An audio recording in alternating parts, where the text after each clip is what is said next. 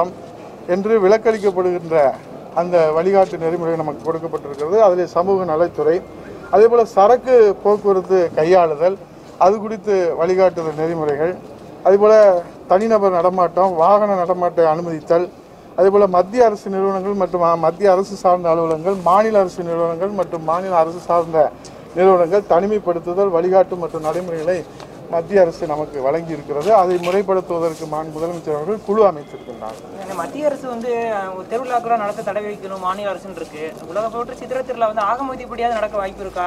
நீங்க மதுரையை பத்தி சொல்ல வாய்ப்பு இருக்கா அமைச்சரவையில? இல்லை இப்போ ஒட்டுமொத்தமாக தமிழ்நா மதுரை மட்டுமல்ல தமிழ்நாட்டில் மட்டுமல்ல இந்தியா முழுவதுமே அனைத்து விதமான அதாவது மக்கள் கூடுகிற இந்த சமூக இடைவெளியை கடைபிடிக்கக்கூடிய சவால் இருக்கிற இடங்கள் அதே போல் நமக்கு இருக்கக்கூடிய இந்த மக்கள் கூடுகிற இந்த அனைத்து மத விழாக்களும் தடை செய்யப்பட்டிருக்கிறது. அனைத்து மத சம்பந்தமான விழாக்களும் மத்திய அரசு தடை செய்யப்பட்டிருக்கிறது. ஊரடங்கு ஊரடங்கு உத்தரவு இருக்கிற வரை இது தடை செய்யப்பட்டிருக்கிறது. அதற்கு பிறகு நமக்கு வழிகாட்டுதல் கிடைத்ததற்கு பிறகுதான் நாம் அனைத்த அடுத்த கட்ட முடிவை நாம் எடுக்க முடியும். நம்ம நாம் சொல்வது திருவிழாக்களை போல நான் நான் பேசுவது பூஜைகளை பற்றியோ அது சம்பந்த பற்றியோ நான் பேசவில்லை. நான் சொல்வது மக்கள் கூடுவதற்கு தடை விதிக்கப்பட்டிருக்கிறது. அந்த தடை தொடரும் ஊரடங்கு இருக்கிற வரை அனைத்து மத விழாக்களுக்கும் தடை செய்யப்பட்டிருக்கு. கேரளா போன்ற மாநிலங்களில் முன்னூறு தாண்டி கொரோனா தொற்று இல்லை சார். அதனுடைய அந்த வழிகாட்டுதல் படி தமிழக நடக்கிறதுக்கான வாய்ப்பு இருக்கா சார்? அங்கே மட்டும் எப்படி சார் முன்னூறு தாண்ட நம்மளுடைய சமூகத்திலிருந்து வந்திருக்கின்ற எண்ணிக்கை நீங்கள் பார்த்தீர்களானாலும் அதாவது இந்த ஹாட்ஸ்பாட்டில் எது ஹாட்ஸ்பாட்டாக இருக்கிறது என்பது எல்லோரும் அறிந்த ஒன்று. ஆகவே நான் அதற்கு விளக்கமாக சொல்ல வேண்டிய அவசியமில்லை. அதை பற்றி தான் நாடு முழுவதும் விவாதம் நடைபெற்று கொண்டிருக்கிறது. ஆகவே நம்முடைய பகுதிகளிலே இன்றைக்கு நாம் மிகவும் பாதுகாப்பாக இருக்கின்றோம். அது தொடரும் அதற்கான தொடரும் என்பதுதான் நேற்றைய மாண்பு முதலமைச்சருடைய உரை தமிழக சார் இந்தியாவிலே தமிழகம் ரெண்டாவது இடத்துல இருக்குது. ஆனா மத்திய அரசு ஒதுக்குன நிதி போதுமானதா இல்ல? அது சம்பந்தமா வலியுறுத்த நே நேற்று அவர்கள் எதிர்க்கட்சியில் வைத்திருக்கிற அந்த தீர்மானங்களை பார்க்கிற போது அது மக்கள் நலன் சார்ந்து இருக்கிறதா அல்லது அவர்கள் கேளிக்கைக்காக இது செய்கின்றார்களா?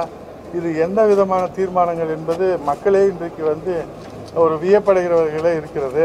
இன்றைக்கு மாநில முதலமைச்சர் அவர்கள் பத்திரிகையாளர் உள்பட நீங்கள் உள்பட அசாதாரணமான சூழ்நிலையில் ஏதேனும் விரும்பத்தகாத நிகழ்வு நடந்தால் கூட உங்கள் மருத்துவ சிகிச்சை ஏற்றுக்கொள்வதற்கும் மூவாயிரம் ரூபா உங்களுக்கு நிவாரணமாகவும் ஐந்து லட்சம் ரூபாய் ஏதாவது அசாதாரணமான நிகழ்வு நடந்துவிட்டால் அதற்கும் முதலமைச்சர் இருக்கிறார். அதேபோல் இந்த பணியில் ஈடுபட்டிருக்கிற மருத்துவ பணியாளர்கள் இந்த பணியில் ஈடுபட்டிருக்கிற ஃப்ரண்ட்லைன் ஆஃபீஸர்ஸ் அவர்களுக்கு பத்து லட்சம் ரூபாய் அறிவித்திருக்கின்றார்கள். ஆகவே இந்த நோய் தொற்றிலே இருந்து அவர்கள் பேரிடர் காலங்களிலே இறந்தவர்களுக்கு அந்த பேரிடர் நிவாரணத்திலிருந்து வெறும் இரண்டு லட்சம் ரூபாய் தான் கொடுத்தார்கள். ஆனால் மாண்பு முதலமைச்சர் அவர்கள் பத்து லட்சம் ரூபாய் அது அனுமதிக்கப்பட்ட நிவாரணம் நான்கு லட்சம் ரூபாயாக இருந்தாலும் கூட ஒக்கி புயல் போன்றவர்கள் எல்லாம் கஜா புயல் போன்றவர்கள்லாம் பத்து லட்சம் ரூபாய் தாயுள்ளத்தோடு தந்து தாய் தமிழ்நாட்டு மக்களை காப்பாற்றியவர் மான் முதலமைச்சர் அவர்கள். அவை செய்பவர் இவர் சொல்பவர் எதிர்க்கட்சியை சேர்ந்த தலைவர்கள். அவை இன்றைக்கு மக்களுக்கு தேவையான உதவிகளை எல்லாம் முதலமைச்சர் அவர்கள் பார்த்து பார்த்து செய்து கொண்டே இருக்கின்றார்கள். அதில் எந்த விதமான அவர்களுக்கு தயக்கமோ அதில் கொடுப்பதற்கு தயக்கமோ எதுவும் கிடையாது. மிக சிறப்பாக மக்களுடைய தேவைகளை புரிந்து அறிந்து செய்து கொண்டிருக்கிறார்கள். எதிர்கட்சிக்காரர்கள் தங்களுடைய அடையாளங்களை இழந்துவிடக்கூடாது மக்களுடைய ஞாபகத்தில் நாம் இருக்க வேண்டும் என்பதற்காக இது போன்ற நடவடிக்கைகளை மேற்கொள்கிறார் என்று நான் சொல்லவில்லை மக்கள் பேசிக் கொள்கிறார்கள்.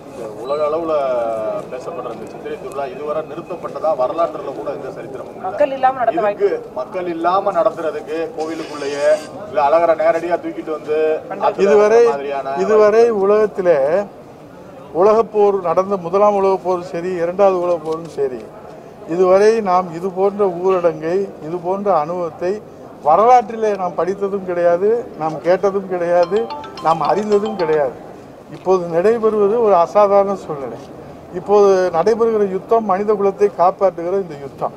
இதற்கு கடவுளின் ஆசி பரிபூர்ணமாக இருக்கிறது. ஆகவே இந்த திருவிழா என்பது நமக்கு ஒவ்வொரு ஆண்டும் நம் மக்களுடைய நலனுக்காகத்தான் நடத்தப்படுகிறது. ஆனால் தமிழ்நாட்டிலே மதுரையில் மட்டுமல்ல இந்திய திருநாடு மட்டுமல்ல உலகெங்குமே இப்போது திருவிழாக்கள் இன்றைக்கு தடை செய்யப்பட்டிருக்கிறது. அனைத்து மதத்தை சார்ந்த அந்த திருவிழாக்கள் நமக்கு தடை செய்யப்பட்டிருக்கிறது. ஆகவே ஊரடங்கு உத்தரவு இருக்கிற வரை அனைத்து மத திருவிழாக்களும் தடை செய்யப்படும். அதில் எந்த சந்தேகமும் கிடையாது. ஊரடங்கு நமக்கு அது வாபஸ் பெற்றதற்கு பின்பாக நடைபெறுகிற விழாவை பற்றி அதற்கு பிறகுதான் அதை ஆய்வு செய்து அது உரிய பாதுகாப்பு நடவடிக்கைகளுக்கு பிறகு முடிவு அறிவிப்பார். ஆனால் ஊரடங்கு உத்தரவு இருக்கிற வரை அனைத்து மத விழாக்களும் அது தடை செய்யப்பட வேண்டும் என்பது இந்திய தேசம் மட்டுமல்ல உலகெங்கும் இருக்கக்கூடிய ஒரு உத்தரவு. மக்கள் கூடுகிற அனைத்து விதமான நடவடிக்கைகளுக்கும் தடை செய்யப்படுகிறது. அழகர் பெருமான் நம்மளை வந்து அருளாசி வழங்கி இந்த தாய் தமிழ்நாட்டு மக்களை காப்பாற்ற வேண்டும் என்பதை இப்போது நாம் அவரிடத்தில் பிரார்த்தனை செய்து கொள்வோம்.